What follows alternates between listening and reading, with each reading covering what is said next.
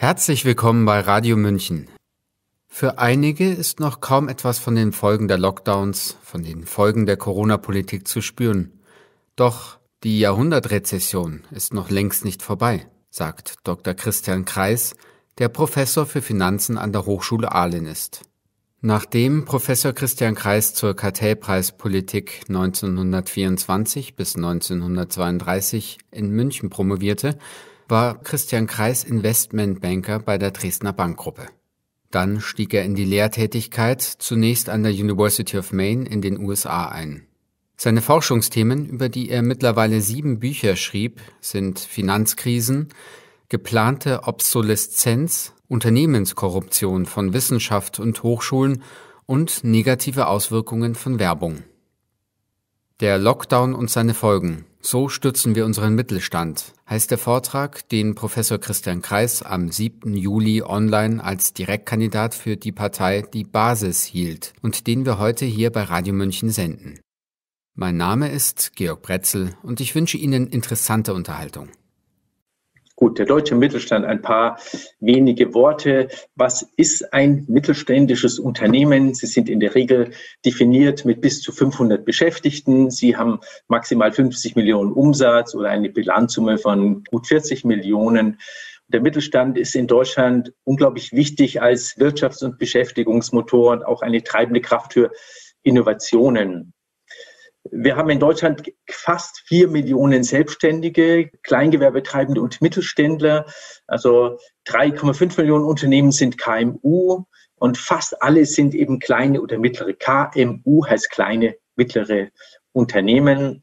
Sie übernehmen 80 Prozent, vier von fünf unserer Azubi-Ausbildung, beschäftigen 58 Prozent der sozialversicherungspflichtig Beschäftigten in unserem Land und fast alle exportieren.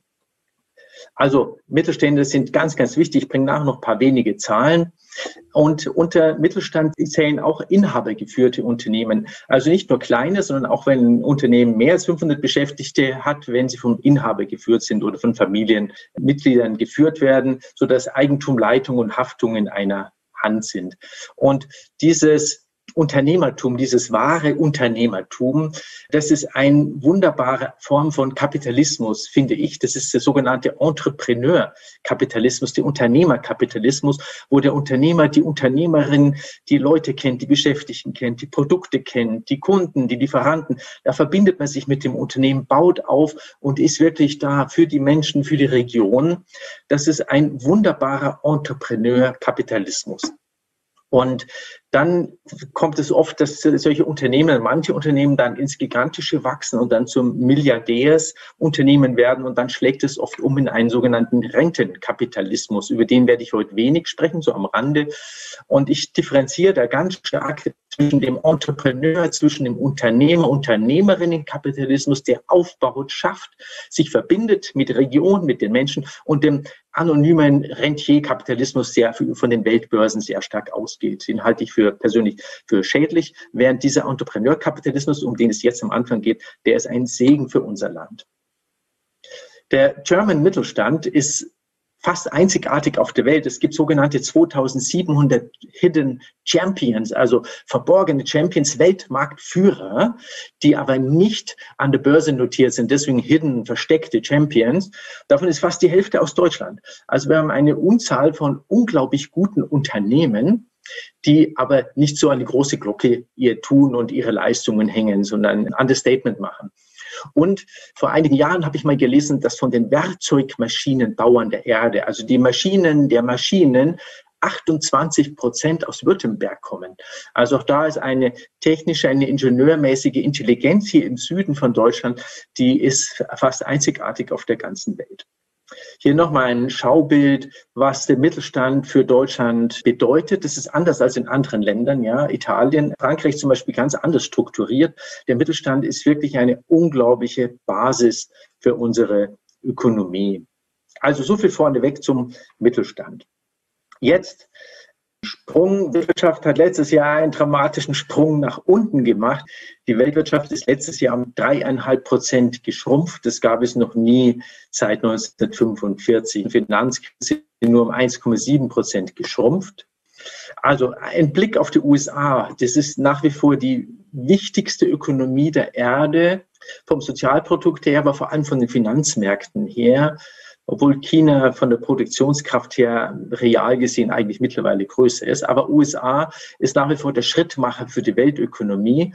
Und man sieht hier an diesem Bild, das gibt wieder die Wirtschaftsentwicklung der letzten 25 Jahre in den USA, wie stark hier der Einbruch war letztes Jahr ab Frühjahr 2020 und dass die Amerikaner sich noch nicht voll erholt haben von dieser Krise vom letzten Jahr. Man sieht es vor allem hier bei den USA. Sie hatten mal hier um die 158 Millionen Beschäftigten. Es fehlen momentan noch sechs bis sieben Millionen Arbeitsplätze in den USA. Also die USA haben sich noch nicht von dieser Weltwirtschaftskrise letztes Jahr erholt. China ist durch diesen Abschwung letztes Jahr verblüffend gut gekommen. Sie sind gewachsen, nicht so stark wie sonst. Sie gehen nicht unberührt durch die Krise, aber gehen gestärkt aus dieser Krise hervor. Der Euroraum, den hat es besonders hart gebeutelt. Man sieht hier den Abschwung. Und vor allem der Aufschwung hinterher, der ist jetzt schon wieder ein kleiner Rohrkrepierer. Im ersten Quartal ist die Wirtschaft im Euroraum schon wieder geschrumpft. Das liegt an den starken Lockdowns, die wir hier im Euroraum hatten. In unserem Land, auch wir, haben einen starken Rückgang gehabt der Wirtschaftsleistung letztes Jahr. Und wenn wir uns anschauen, vor den Lockdowns letztes Jahr im März, also im Februar, hatten wir 2,3 Millionen Arbeitslose. Momentan haben wir ungefähr 2,3 Millionen Menschen in Kurzarbeit. Wir haben 730.000 Beschäftigungen verloren.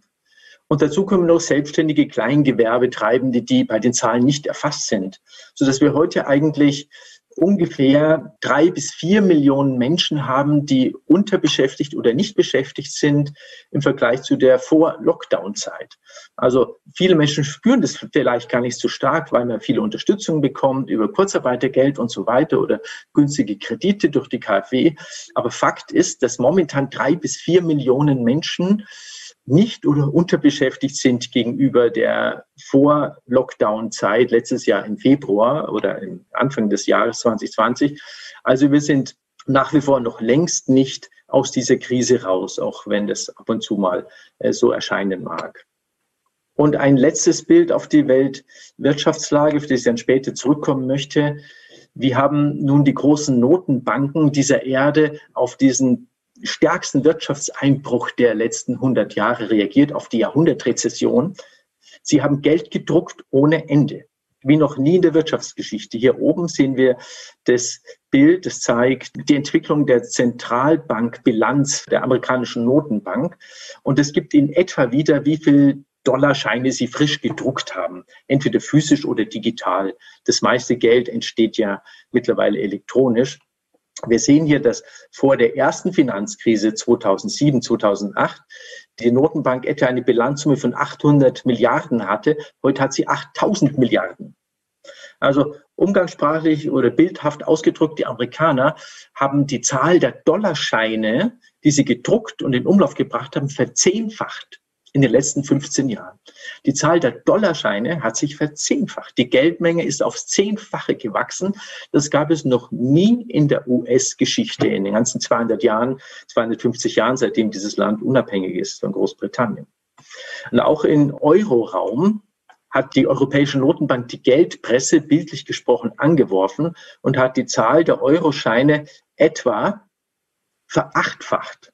Also auch momentan werden pro Tag Milliardenbeträge in Umlauf gebracht an frischem Geld. Also, soweit, wir hatten einen eine dramatische Jahrhundertrezession.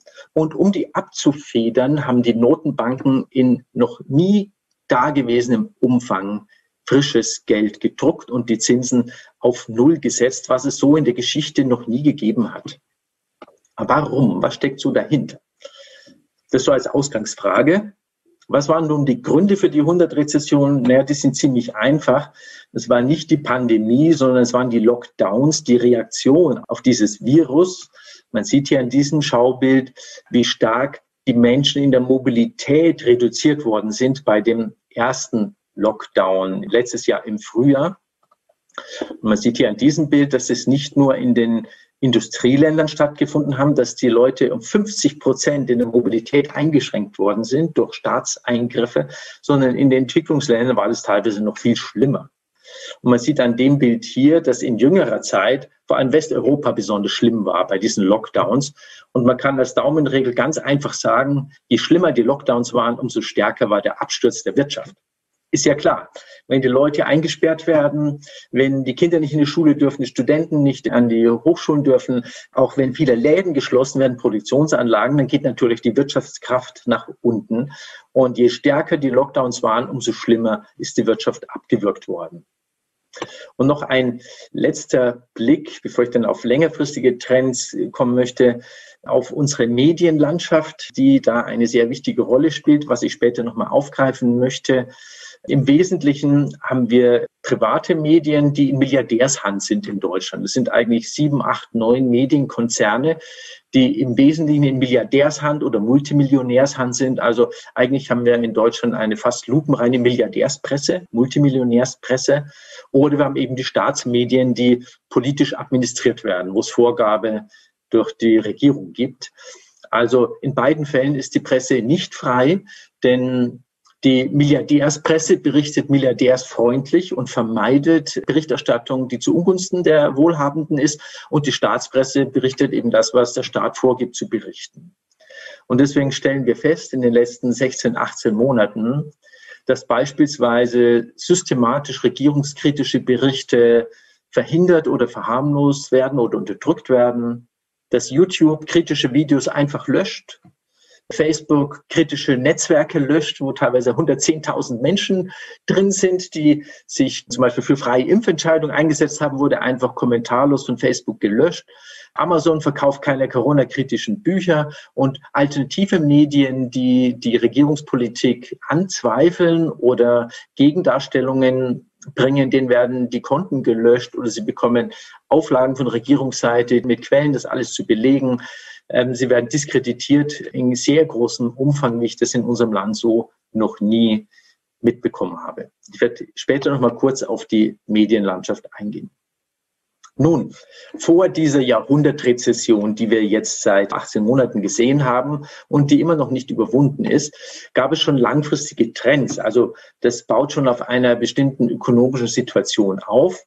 Und dazu in aller Kürze nur ein Blick auf die sogenannte Exponentialfunktion, auf die Zinseszinsfunktion, die in der Wirtschaft arbeitet. Der Zins kommt zum Zins, kommt zum Zins. Das gilt aber nicht nur für Bankkonten oder für Staatsanleihen, also für zinstragende Papiere, sondern es gilt genauso für Dividendenpapiere, für Aktien. Die Dividende kommt zur Dividende, zur Dividende und es wächst dann exponentiell. Und es gilt auch für Mieten und Pachten. Ja, die Miete kommt zur Miete, zur Miete, zur Miete und man kann sich neue Häuser kaufen. Und dieser Zinseszinseffekt, ich will jetzt nicht so stark darauf eingehen, der führt zu Konzentrationsprozessen, zu ökonomischen, zu Vermögenskonzentrationsprozessen, so dass langsam, langsam das Kapital immer stärker nach oben fließt zu einer kleineren Gruppe von Menschen. Man sieht es zum Beispiel an dem Schaubild hier. Wer verdient am Tee? Ja, die Plantagenarbeiterinnen, die verdienen an einem Euro, den wir hier für einen Teebeutel zahlen, 1,1 Cent. Dann geht viel an die Plantagenbetreiber, an die Großhändler, an die Teeunternehmer, an Einzelhändler. Also die Eigentümer von Boden, von Kapital, die verdienen immer mit und verdienen da einen ziemlich großen Anteil dran. Und das meine ich mit Zinseszinseffekt. Das kommt zusammen, Zins zum Zins, Dividende zu Dividende, Miete zur Miete. Und das führt zu Konzentrationsprozessen, sehen wir fast auf der ganzen Welt in großen Teilen, dass die Ungleichverteilung in den letzten 20 Jahren stärker geworden sind. Wenn wir die letzten 40 Jahre nehmen, gilt es fast für die gesamte Erde. Wir sehen hier Schlüsselländer wie USA, Deutschland, England, Italien, Spanien, wo überall die Schere aufgeht zwischen Arm und Reich, ganz grob gesprochen. Also nicht nur bei den Vermögen, sondern auch bei den Einkommen geht die Schere auf seit ungefähr den 80er Jahren fast weltweit oder in sehr vielen Ländern auf dieser Erde. Und was dahinter steckt, ist Folgendes. Wir haben also eine bestimmte Eigentumsordnung, die sagt, Eigentum in beliebiger Höhe ist gut. Ja, Jeff Bezos oder die ganzen Oligarchen wie Bill Gates und Zuckerman und wie sie heißen. Eine Milliarde, nein, reicht nicht. Zehn Milliarden ist gut. 100 Milliarden ist gut. Vielleicht kommen irgendwann mal 1000 Milliarden. Also unsere bestehende Eigentumsordnung in der westlichen Welt ist, mehr ist besser, alles gut. Wir haben weder eine Vermögensteuer noch eine nennenswerte Erbschaftssteuer. Also wir haben eine bestimmte Eigentumsordnung in unserem Land, in Europa, fast auf der ganzen Erde. Dazu wir diesen Zinseszinseffekt, den ich ganz kurz skizziert habe. Und das führt schon seit 40 Jahren zu zunehmender Ungleichverteilung. Diese zunehmende Ungleichverteilung führt zu steigender Sparquote, denn die wohlhabenden Menschen, die können auch nicht mehr Schnitzel essen. Die Familie Quandt zum Beispiel, die Erben von BMW, bekommen am Tag über eine Million Euro Dividende. Und wenn Sie so viel jeden Tag auf Girokonto bekommen, ja, so wie Schnitzel können Sie gar nicht essen. Also die Sparquote steigt, das Kapitalangebot steigt. Das sehen wir schon seit 40 Jahren. Wir haben starke Investitionen, aber auch Überinvestitionen. Die Massennachfrage bleibt zurück, weil ja der Kuchen schwerpunktmäßig nach oben wandert. Wir haben Überschuldung und dann kommt in irgendeiner Form eine Bereinigung. Also auf diesem System ist eigentlich schon seit 40 Jahren die Weltwirtschaft aufgebaut. Es ist ein relativ asoziales System und außerdem ziemlich gefährlich, denn wenn wir dauernd hier ein Wachstum haben, hier ist skizziert in diesem Schaubild die Wirtschaftskraft in den USA pro Kopf in den letzten 40 Jahren und hier drunter stehen auch die realen Zahlen für die USA. Wir sehen hier ein relativ starkes Wirtschaftswachstum pro Kopf, aber die Masseneinkommen halten nicht mit, schon seit 40 Jahren in den USA. Und dadurch bildet sich ein Keil, sodass die Massenkaufkraft nicht Schritt hält mit der Massenproduktion. Und eigentlich geht es ja nicht, dass mehr produziert wird, als nachgefragt wird, ja. Und der Keil wurde und wird mit Krediten überbrückt. Mit Staatskrediten, mit Unternehmenskrediten, mit Privatkrediten. Und deswegen dieses Gelddrucken. Ja, wir hatten schon 2007 eine sehr kritische Situation schon eine Überproduktionskrise eigentlich.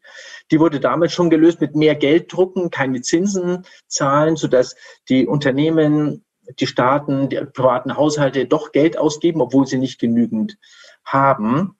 Und diese gleiche Kur, die man 2008, 2009 angewendet hat, Gelddrucker ist jetzt, jetzt während der Lockdowns wieder angewandt worden, sodass die Notenbanken auf Teufel komm raus Geld drucken, weil sie große, große Sorge haben, meiner Meinung nach, dass die Weltökonomie sonst abstürzt. Ja, die Massennachfrage reicht nicht aus. Also ich will sagen, dass diese Lockdowns sich auf eine schon gewissermaßen gefährliche Situation draufgesetzt haben und das Ganze nochmal zugespitzt haben. Dahinter steckt ein Gedanke, auf den ich persönlich gekommen bin durch Rudolf Steiner, den Begründer der Waldorfschulen. Der hat 1914 darauf hingewiesen, es wird heute für den Markt ohne Rücksicht auf den Konsum produziert und dann wartet man, wie viel gekauft wird. Diese Tendenz wird immer größer werden, bis sie sich in sich selbst vernichten wird. Es entsteht dadurch im sozialen Zusammenhang genau dasselbe, was im Organismus entsteht, wenn ein Karzinom entsteht ganz genau dasselbe. Eine Krebsbildung, eine Karzinombildung, Kulturkrebs, Kulturkarzinom. Damit ist gemeint dieses Wachstum, das eigentlich in vielen Bereichen schon sinnlos ist, weil wir in der westlichen Welt viele von uns alles haben, was wir brauchen. Also ein Karzinom ist ja auch Wachstum, aber sinnloses Wachstum, also ein Wachstum von in Gütern, die wir eigentlich zum Teil gar nicht mehr brauchen, für die wir das Geld gar nicht haben, für die dann künstlich Kredite aufgenommen wird, Geld geschöpft wird, das die Notenbanken drucken und das Ganze ist ein System, das langsam in so eine Exponentialfunktion reinläuft, in eine kritische Situation, das auf Dauer so nicht weitergehen kann. Also in irgendeiner Form wird das bereinigt werden müssen. Da komme ich gleich drauf zurück. Man sieht es schon, dass vor den jetzigen Lockdowns schon die deutsche Industrieproduktion rückläufig war, die Automobilproduktion rückläufig war, dass in den USA schon seit längerem die Kapazitätsauslastung rückläufig ist und heute noch längst nicht wieder da, wo sie vor den Lockdowns war. Und dass auch in USA die Arbeitsmarktauslastung auch nicht voll da ist. Man sieht hier einen ziemlichen Absturz durch die Lockdowns und der amerikanische Arbeitsmarkt hat sich noch nicht wieder erholt. Also wir hatten bereits eine kritische Situation vor den Lockdowns, vor dieser Jahrhundertrezession. Wie geht's weiter? Wir hatten in den letzten 40 Jahren einen starken Anstieg der weltweiten Verschulden. Das ist in diesem Bild ausgedrückt. Ja, die gesamte Verschuldung in Prozent von, von der Weltwirtschaftskraft sehen wir, dass seit den 70er Jahren schon davor steigt. Und hier 2008 war der Schuldenstand zu hoch. Deswegen kam die Finanzkrise. Wie haben wir die Finanzkrise gelöst? Durch mehr Schulden. Ja, die Schulden waren zu hoch, konnten nicht zurückgezahlt werden. Die Lösung war mehr Schulden. Klingt nicht sehr logisch, ist auch nicht sehr logisch. Und wir sehen jetzt im Zuge der Lockdowns anhand von dieser roten Kurve hier nochmal ein dramatisches Ansteigen der Weltschulden. Ich spreche jetzt nicht von Deutschland, noch nicht mehr von Europa, sondern wirklich von den Weltschulden. Bei den Schulden hier sind auch die Schulden der Banken und Versicherungen dabei. Und wir sehen, dass die Weltschulden von ungefähr 320 auf 360 Prozent der Weltwirtschaftskraft angestiegen sind. Im Rahmen der Lockdowns haben ja die Staaten unglaublich viel Geld ausgegeben und sich verschuldet. Ja, und als Ex-Investmentbanker muss ich sagen, die Schulden steigen an, die Wirtschaft geht runter, die Umsätze gehen runter, Cashflow gehen runter. Wie sollen die Schulden jemals zurückbezahlt werden? Sie können nicht zurückbezahlt werden. Das ist vollkommen illusorisch. 360 Prozent vom BIP, das heißt von der Weltwirtschaftskraft, dass 90 Prozent der Erdbevölkerung über drei Jahre arbeiten müsste, ohne Lohn und Brot, um die Schulden abzutragen.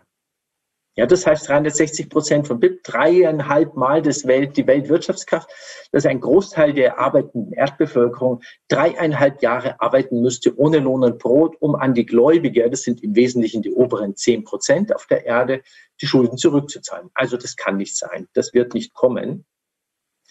Was kommt? Die Schulden sind so hoch. Wir konnten in der Neuen Zürcher Zeitung im April lesen, die Staatsschulden sind jetzt höher als nach dem Zweiten Weltkrieg. Nach dem Zweiten Weltkrieg waren die Staatsschulden so hoch, dass sie nicht beglichen werden konnten. Ja, Deutschland hat die Schulden nie zurückbezahlt.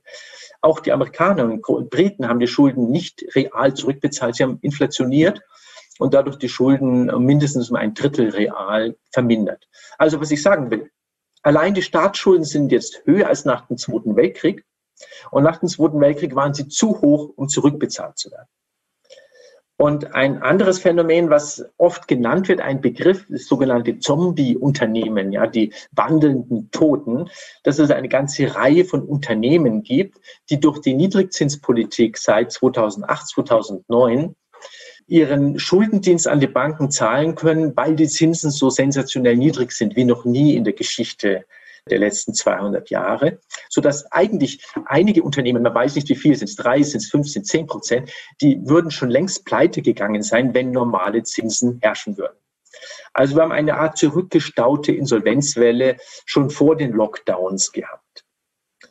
Und das zeigen auch Umfragen, die Ende letzten Jahres wurden die mal zusammengefasst durch diese Zombie-Unternehmen, durch diese Lockdowns, hat das IFO-Institut geschätzt, dass etwa ein Fünftel der Unternehmen in Deutschland existenzbedroht sein könnte. Das IFO-Institut, das ist ein sehr, sehr renommiertes Wirtschaftsinstitut. Die DIHK hat nach einer Umfrage gesagt, dass ein Zehntel der deutschen Unternehmen insolvenzgefährdet sein könnte durch die Lockdowns, durch diese Zombie-Unternehmen, die schon vorher da waren durch die gesunkenen Cashflows. Und Kreditreform, auch eine sehr, sehr seriöse Gesellschaft, rechnet mit 550 bis 800.000 Zombie-Unternehmen oder überschuldeten Unternehmen. Also, was ich sagen will, die Krise ist noch längst nicht vorbei. Diese Jahrhundertrezession ist noch längst nicht überwunden, sondern das hat Folgelasten. Und man sieht das unter anderem daran, dass wozu dieses Gelddrucken, diese Nullzinspolitik seit fast 15 Jahren geführt hat, ist ein dramatisches Ansteigen der Hauspreise. In dem Bild hier vom Economist vom April diesen Jahres sieht man, wie die realen Hauspreise nach Abzug der Inflation sich in führenden Industrieländern entwickelt haben. Und wir sehen, dass die Hauspreise dramatisch in die Höhe geschossen sind. Wir erleben es ja in den letzten Jahren auch in Deutschland, aber wir sind hier Schlusslicht. Ja, in Deutschland sind die Hauspreise vergleichsweise immer noch sehr, sehr billig, zu, verglichen zum Beispiel mit Kanada, Australien oder auch Frankreich. Also zum einen haben die niedrigen Zinsen dazu geführt, dass die Leute sagen, oh, Kredit kostet nichts, ich kaufe mir ein neues Haus, ich baue ein neues Haus und die Hauspreise gehen in die Höhe. Zum anderen sehen wir durch diese Nullzinspolitik und durch dieses Gelddrucken einen dramatischen Anstieg der Aktienkurse, vor allem in den USA. Der Leitindex der Erde ist der S&P 500. Das sind die 500 wichtigsten börsennotierten US-Unternehmen drin. Und wir sehen hier einen dramatischen Anstieg. Hier war die erste Welle, die zweite Welle und jetzt die dritte Welle. Die ist so stark wie noch nie in der US-Geschichte. Und es gibt eine Messart, ich als Ex-Investmentbanker, ob Aktien teuer oder billig sind. Das ist das sogenannte Kurs-Gewinn-Verhältnis. Man berechnet, was kostet eine Aktie heute und wie viel sind die Gewinne, die dahinter sind. Also wenn eine Aktie 100 kostet und der Gewinn ist 10, dann ist das Kurs-Gewinn-Verhältnis 10. Dann kann man also mit einer Aktie, muss man das Zehnfache zahlen, um den Gewinn sich zu kaufen. Und dieses sogenannte Kurs-Gewinn-Verhältnis war in den letzten 150 Jahren in den USA etwa bei 15 und ist heute bei über 45 über 45, so hoch wie noch nie in der Geschichte der USA. Das heißt, die Aktien sind mega teuer. Mega teuer, so teuer wie noch nie in der amerikanischen Geschichte. Das heißt, um einen bestimmten Dividendenstrom sich zu kaufen, was Sie tun, wenn Sie eine Aktie kaufen, müssen Sie heute dreimal so viel zahlen wie im Durchschnitt der letzten 150 Jahre. Also es ist eine dramatische Überbewertung der amerikanischen Aktien, die sich in irgendeiner Form bereinigen muss. Und man sieht es an diesem Schaubild hier, wie sich die nominale Wirtschaftskraft in den USA, das ist die hellblaue Linie, entwickelt hat und wie sich die Vermögen entwickelt haben, also die Hauspreise und Aktienpreise, ganz grob gesprochen. Und wir sehen, dass sich die Haus- und Aktienpreise seit den 90er Jahren immer mehr von der Realität abheben. Ja, und das ist heute noch viel steiler geworden. Das heißt, die Aktien sind viel, viel mehr wert, als was an reale Wirtschaftskraft dahinter ist. Die Häuser sind viel teurer als das, was an reale Wirtschaftskraft an Mieten und Pachtzahlungen dahinter ist. Also worauf ich hinweisen will, wir sehen ja eine Überteuerung, wir sehen ein krebsartiges Wachstum, eine krebsartige Entwicklung auch der Vermögenswerte und dass wir in eine kritische Situation reinlaufen. Deswegen, was kommt? Was kommt? Und ich komme dann auf den Mittelstand zurück. Das im Prinzip braucht man diese Hintergründe, um dann zu verstehen, was mit dem Mittelstand geschehen wird, vor allem in unserem Land. Die Schulden können nicht in voller Höhe zurückbezahlt werden. Das geht einfach nicht. Sie sind zu hoch. Wenn weiter die Notenbanken Nullzinspolitik betreiben und die Geldpresse anschmeißen, noch und noch und noch mehr Dollar und Euro und Pfund und Yen drucken, dann werden die Immobilienpreise ins Unendliche schießen und wir können uns die Mieten nicht mehr leisten. Und junge Familien können sich die Häuser nicht mehr leisten.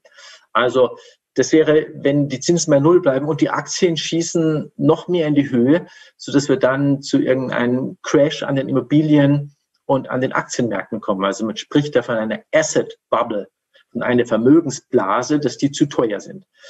Also was ich sagen will, weiter Zinsen auf Null lassen und Geld drucken, nochmal 15 Jahre, geht nicht. Dann fliegen uns die Immobilienpreise um die Ohren und dann fliegen uns die Aktien, die Börsen um die Ohren, weil dann gehen die gegen unendlich, die Börsen und die Immobilienpreise. Also weiter Nullzinspolitik geht nicht.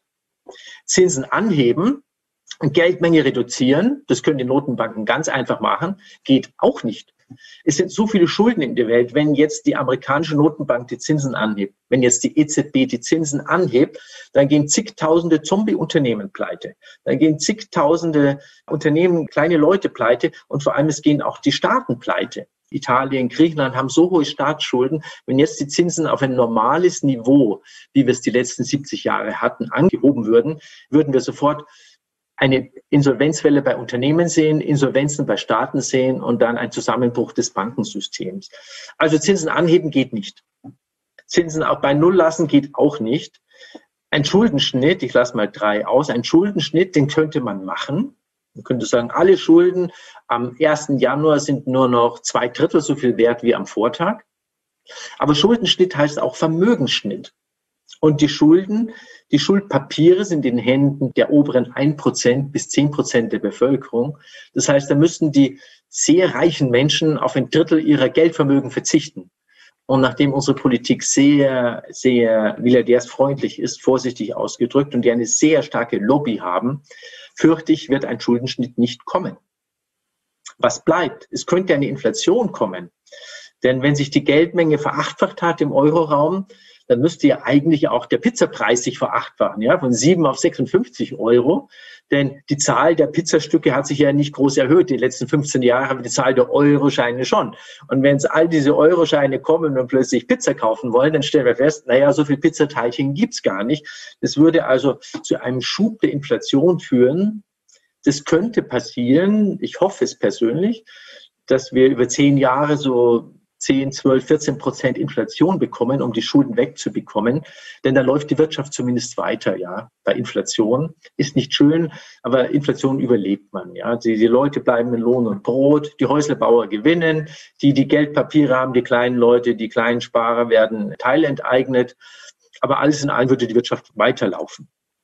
Wenn so eine Inflation nicht kommt, dann kann es passieren, dass wir eine Pleitewelle sehen mit Bankzusammenbrüchen, mit, dass die Zombie-Unternehmen kollabieren, dass dann auch die Banken kollabieren und wir Staatspleiten sehen. Das war 2008 sehr stark schon auf der Kippe gestanden, dass sowas kommen könnte. Und dann hätten wir eine, einen riesigen Absturz mit Millionen von Arbeitslosen, auch in Deutschland, denn wir exportieren ja sehr viel. Also vermutlich kommt Lösung fünf oder sechs. Ich hoffe schwer auf fünf. Und geschichtlich gesehen war auch immer Krieg eine Lösung. Ja, wir haben zu viel Produktion im Markt, zu wenig Massennachfrage und eine Geschichte konnte man einfach zerstören durch Krieg und dann war Angebot und Nachfrage wieder im Lot. Also das hoffe ich am allerwenigsten, dass kommen wird. Aber das sind eigentlich so die sieben Möglichkeiten. Ich schätze, es kommt entweder fünf oder sechs. Was ich sicher weiß, es kann so nicht weitergehen. Ich weiß auch nicht, wann die Bereinigung kommt, denn es geht jetzt schon seit 15 Jahren mit der Nullzinspolitik und dem Gelddrucken und wir hatten bis jetzt kein bisschen Inflation. Ich weiß nicht, wie lang das noch geht, aber es kann nicht mehr ewig gehen. Das muss eine Bereinigung kommen, denn die ganzen Menschen, die jetzt auf, in ihre Depots schauen und sagen, mein Aktiendepot ist 100 wert und mein Sparbuch ist 100 wert und mein Haus ist 100 wert, das stimmt nicht mehr. Ja, die Werte sind nicht gedeckt durch die reale ökonomische Kraft. Da leben ganz viele Menschen, die auf die Geldscheine schauen, auf ihre Depots schauen, auf ihre Wertgegenstände, leben in einer Illusion. Und wenn die Illusion platzt, wenn die Menschen aus der Illusion gerissen werden, wenn sie aufwachen und sehen, mein Sparbuch ist ja gar nicht mehr so viel wert, mein Geldschein meine Aktien sind ja gar nicht mehr so viel wert, dann kann es sehr schnell zu einem Crash an den Finanzmärkten kommen und dann kann schnell diese Lösung 6 ausgelöst werden. Gut, was sind die Hintergründe? Das ist eine Ebene tiefer. Wir haben letztes Jahr gesehen im Juni eine Schlagzeile im Wall Street Journal, das sogenannte Short Sellers, das sind Spekulanten auf fallende Kurse, an zwei Tagen 2,6 Milliarden Dollar verdient haben, weil Wirecard, ein deutsches DAX-Unternehmen, der Kurs abgestürzt ist an der Börse. Also weil ein Unternehmen abstürzt, verdienen sogenannte Shorties, ich habe so Geschäfte auch gemacht als Investmentbanker, verdienen 2,6 Milliarden Dollar. Was ich damit sagen will, oder was Wall Street Journal damit sagen will, sie können an dem Zusammenbruch mega viel verdienen in zwei Tagen unendlich reich werden. Und das gilt allgemein für die Geschichte. Sie können an einem Zusammenbruch, wenn Sie richtig aufgestellt sind, viel, viel mehr verdienen als an einem Aufschwung. Beim Aufschwung dauert es viel, viel länger. Und es gibt dafür ein prominentes Beispiel in der Geschichte. John Pierpont Morgan, der 1907 eine Finanzkrise herbeigeführt hat, eine Weltwirtschaftskrise herbeigeführt hat, er war damals einer der mächtigsten Banker der Erde mit 141 Banken, einem großen Eisenbahnimperium, einem großen Stahlindustrieimperium. Und der hat sich geärgert über seine Konkurrenten, hat dann alle Liquidität zusammengezogen über London, beginnend von den anderen Banken, Gelder aufsaugen, hat im August seine Kredite nicht verlängert, hat einen Crash herbeigeführt an den Aktienmärkten, Millionen von Menschen die Arbeitslosigkeit geschickt die amerikanischen Gefängnisse waren überfüllt, weil die Leute nichts zu essen haben und dann Diebstahl begangen haben. In Deutschland gab es große Arbeitslosigkeit wegen John Pierpont Morgan, wegen eines Mannes. Assistiert von Rockefeller vermutlich, das kann ich aber nicht, bin mir nicht sicher. Und dann hat er in dieser Krise seine ganzen Konkurrenten erledigt, hat sie aufgekauft oder gewartet, bis sie pleite sind und ein Riesengeschäft seines Lebens gemacht. Er ist dadurch noch viel, viel reicher geworden, als er vorher war, auch Rockefeller ist doch unendlich reich geworden. Also was ich sagen will, An Krisen kann man mega gut verdienen, viel mehr als in Aufschwungphasen, jedenfalls viel schneller, wenn man auf Cash sitzt. Also wenn Sie einfach Liquidität horten und den anderen geht das Geld aus. Und das Gleiche ist heute. Das Gleiche gilt es für heute. Wenn heute eine Marktbereinigung kommt, kann man da unglaublich viel Geld verdienen. Und wenn ein Lockdown kommt und es gehen kleine Konkurrenten gehen pleite, Mittelständler gehen pleite, dann werden andere jubilieren. Stichwort Amazon. Einzelhandelssterben in den Innenstädten. Amazon verdoppelt sich im Wert. Und die Menschen hinter Amazon, die Milliardäre, machen märchenhafte Vermögen, weil eine Branche zerstört wird, weil Unternehmen zerstört werden. Deshalb verdienen andere. Nicht etwa trotz der Lockdowns, nein, wegen der Lockdowns verdienen manche Player sensationell viel Geld und machen Profit ohne Ende. Jeder Tag Lockdown heißt für bestimmte Player im Markt sensationelle Gewinne, pro Tag Milliarden Gewinne. Also es gibt ganz massives Anreize, sage ich als Investmentbanker, Ex-Investmentbanker, von den Anreizstrukturen her, Lockdowns so hart, so lang und so schlimm wie möglich zu machen. Denn jeder Tag Lockdown bringt Milliarden Gewinne für die großen Konzerne und deren Eigentümer. Wie kriege ich das hin, dass die Lockdowns so hart und schlimm und lang wie möglich werden? Naja, ich muss Angst schüren. Ich muss Angst schüren. Ich muss in der Bevölkerung Angst erwecken, denn wenn ich Angst erwecke, dann schlucken die Leute diese Lockdowns, wogegen sie sonst vielleicht revoltieren würden. Nein, wenn ich richtig Angst erzeuge, dann gibt es die langen Lockdowns. Also es gibt ein riesiges Interesse an Lockdowns. Deswegen gibt es ein riesiges, gewaltiges Interesse an Angst. Und die Medien sind in Milliardärshand. Milliardärshand. Die verdienen auch an den Lockdowns megamäßig viel. Also auch die Milliardäre, denen die Medien gehören, die sind auch in diesem Spiel mit dabei und haben ganz großes Interesse, so viel Angst wie möglich zu schüren. Nicht objektiv informieren, sondern Angst in die Welt setzen. Und die Regierungen machen genau das Gleiche. Die Regierungen sind sehr stark in Hand der Lobby, der Lobbyisten, der Milliardärslobby und sagen Angst, Angst, Angst. Und deswegen sehen wir in unseren Staatsmedien und in den privaten, in der Milliardärspresse keine objektive Berichterstattung. Im Gegenteil, jemand, der die Objektivität anspricht, der wird mundtot gemacht, wird diffamiert. Es gibt keinen Diskurs, es gibt auch keinen wissenschaftlichen Diskurs auf diesem Gebiet. Ich habe ja zwei Bücher zu gekaufter Forschung geschrieben. Es gibt keinen ernsthaften wissenschaftlichen Diskurs auf diesem Gebiet. Also, was ich sagen will, es gibt ein riesiges Interesse dran, von Seiten von Multimilliardären ein Crash oder diesen Lockdown herbeizuführen. Cash ist King. Das sind sehr problematische Entwicklungen. Ja, es ist, heißt die Bündelung von Macht bei sehr wenigen Menschen. Das sehen wir jetzt im Rahmen dieser Lockdown-Maßnahmen. Letztes Jahr in den neun Monaten von März bis Dezember haben die Milliardäre in den USA so viel Vermögen verdient wie davor, glaube ich, noch nie in der Geschichte. Ist es Zufall? Nein. Je härter und schlimmer die Lockdowns, je stärker der Absturz, umso höher die Profite. Und das hat dazu geführt, dass sich die Konzentration von Vermögen nochmal dramatisch gebündelt hat in den letzten 12, 16 Monaten seit diesen Lockdowns, sodass heute 20 Milliardäre auf der Erde so viel Vermögen besitzen wie die untere Hälfte der gesamten Erdbevölkerung zusammen. 20 Menschen, ich glaube, es sind fast alles Männer, 20 Menschen haben so viel Vermögen wie dreieinhalb Milliarden Menschen zusammen. Und vor zehn Jahren hat man da noch fast 400 gebraucht. Das heißt, auch an der obersten Spitze haben wir eine gewaltige Konzentration von Vermögen gesehen in den letzten 18, 12, 16, 18 Monaten. Und diese Vermögenskonzentration übersetzt sich sehr stark in politische Einflussnahme. Es fließen vor allem in den USA riesige Mengen von Wahlkampfgeldern in die Politik, aber auch in Deutschland können Sie gegen die großen Sponsoren, gegen die großen Lobbyverbände, gegen die großen Konzerne können Sie in Deutschland nicht mehr ernsthaft Politik machen. Das heißt, diese ökonomische Machtkonzentration, die wir sehen in den letzten 18 Monaten, übersetzt sich in politische Machtkonzentration bei Menschen, die nie jemand gewählt hat, ja diese ganzen Oligarchen, Bill Gates, Elon Musk, Jeff Bezos, Zuckerberg, Larry Ellison, wie sie alle heißen, die hat nie ein Mensch gewählt.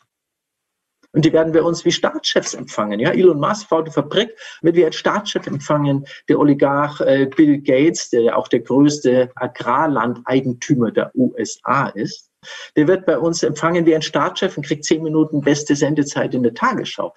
Da, obwohl das Menschen sind, die nie demokratisch gewählt worden sind. Das sind also dramatisch antidemokratische Prozesse, die wir hier sehen. Und die großen Konzerne wissen das natürlich. Hier in diesem Bild vom Economist ist abgebildet, wie die führenden Großkonzerne der Erde, wie die letztes Jahr Liquidität aufgebaut haben. Cash is King. In jeder Krise brauche ich Geld, Geld, Geld, um meine Rechnungen zu bezahlen. Die großen Konzerne wissen das, haben ihre Liquidität um ein Drittel hochgefahren, auf fast zweimal das deutsche Sozialprodukt und brauchen nur zu warten, bis die kleinen Krauterer alle pleite gehen und dann kommt die große Ernte.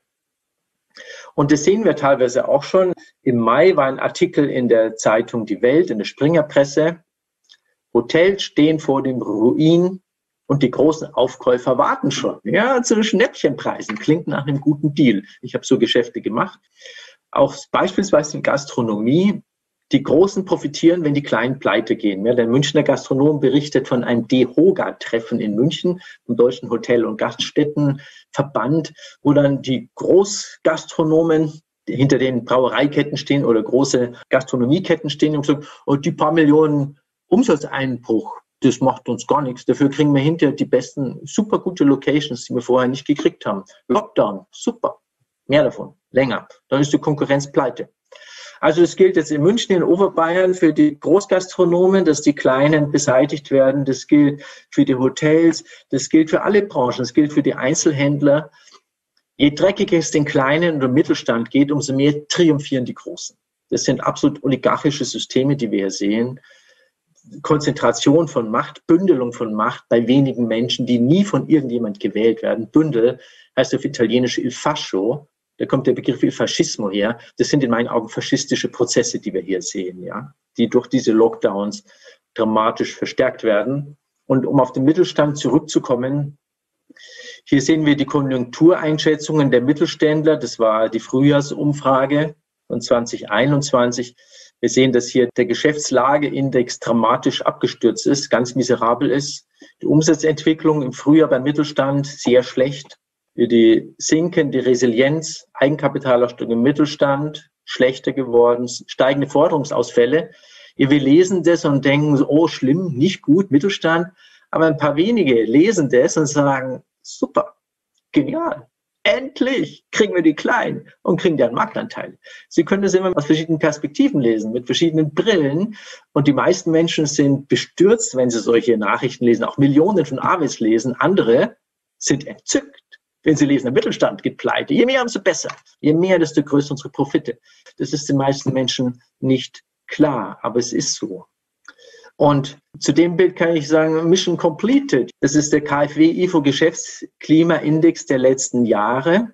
Der wurde im Mai veröffentlicht. Man sieht hier, dass vor den Lockdowns die Großunternehmen, dass es denen deutlich schlechter ging als dem Mittelstand. Ja, Mittelstand, dem ging es deutlich besser. Dann kamen die Lockdowns und heute triumphieren die Großen und der Mittelstand hängt hinterher. Naja, ist das ein Zufall? Jedenfalls, wir sehen, dass genau das Upside Down gedreht worden ist.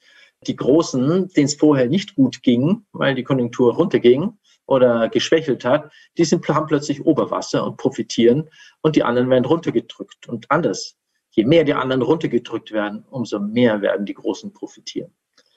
Deswegen als Tipp für Mittelständler, Vorsicht, die Krise ist noch nicht vorbei. Im Gegenteil. Es wird eine dramatische Bereinigung kommen. Ich weiß nicht wann. So viel Cash wie möglich. So viel Liquidität wie möglich. Kreditlinien hochfahren, wenn möglich. Bestehende Kreditlinien ausnutzen. Das haben die großen Konzerne in USA, haben sie überall gemacht. Neue Bonds begeben. Cash, Cash, Cash. Die haben ihre Liquiditätspositionen wie blöde aufgebaut. Die wissen, was passiert. Factoring, also Forderungen verflüssigen in Liquidität, Cash aufbauen, Kreditversicherungen abschließen, möglicherweise Sale und Leaseback, möglicherweise sogar Anlagen verkaufen und Cash bunkern. Wenn es irgend geht, irgendwie Eigenkapital verstärken, wenn möglich.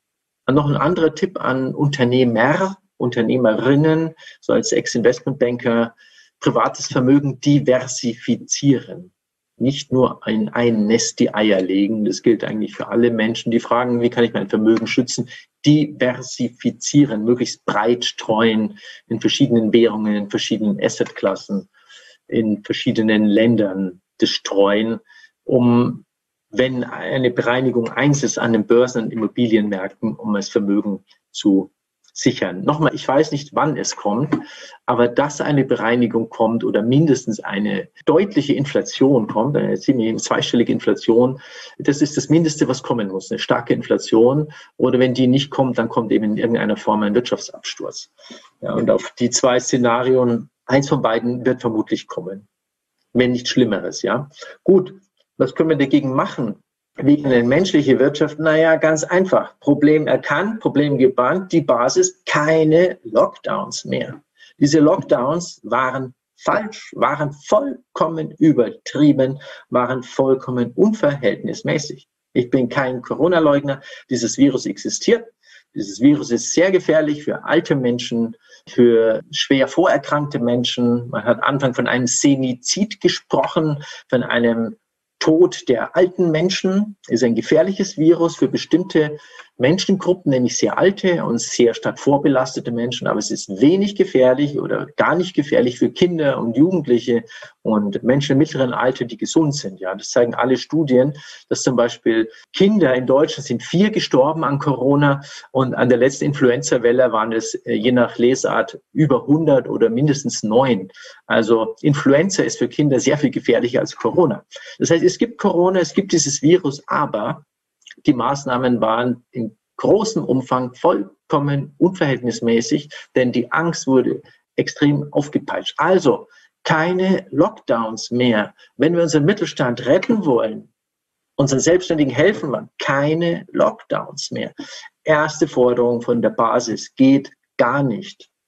Und was weiß ich, ich rechne im Herbst mit einer neuen Virusvariante, mit der Lambda, Omega, Theta, Mühl-Gamma-Version. Es gibt ja viele griechische Buchstaben, die auf uns zukommen können, ja. Und dann wird im Herbst möglicherweise vielleicht wieder die Rede sein, Lockdowns. Nein, keine Lockdowns whatsoever. Da stehen Interessen dahinter, die dies wollen. Wir müssen dieser Machtkonzentration entgegenwirken, die ich skizziert habe, dass das Geld ständig von allen zu wenigen fließt, zum Beispiel Bodeneigentum anders heranführen. Diese ganzen Immobilienüberbewertungen, die wir haben, das ist eine Fehlentwicklung. Man kann eine Abgabe auf nicht selbst genutztes Bodeneigentum machen. Zum Beispiel Vonovia, die jetzt verschmilzt mit Deutsche Wohnen, mit über 600.000 Wohnungen. Das ist eine vollkommene Absurdität. Solche Gesellschaften sind eigentlich für mich eine Krankheit, denn irgendwelche Leute halten die Hände auf von Mietern, die ihnen monatlich überweisen und sie wissen gar nicht, wo die Wohnungen sind. Also eine Abgabe auf nicht selbst genutztes Bodeneigentum und im Gegenzug die Freibeträge für die normalen Leute, für die Niedrigverdiener erhöhen. Zum Beispiel bis 1500 Euro keine Sozialabgaben und keine Steuern. Dann würde brutto gleich netto bei den einfachen Beschäftigten kommen. Die Kaufkraft würde steigen und der Keil, den wir am Anfang gesehen haben, dass die Massennachfrage nicht ausreicht, der Keil würde langsam geschlossen und das Problem würde wirklich gelöst, statt über immer neues Geld drücken und Schulden machen, was das Problem nur aufschiebt und verschlimmert. Auf die anderen will ich jetzt nicht eingehen, dass wir auch Unternehmenseigentum anders damit umgehen müssten oder auch ein anderes Geldsystem bräuchten. Vielen Dank. Sie hörten den Professor für Finanzen Dr. Christian Kreis mit seinem Vortrag Der Lockdown und seine Folgen. So stützen wir unseren Mittelstand, den er als Direktkandidat für die Partei Die Basis am 7. Juli online hielt. Mein Name ist Georg Bretzel und ich wünsche Ihnen weiterhin noch gute Unterhaltung hier bei Radio München.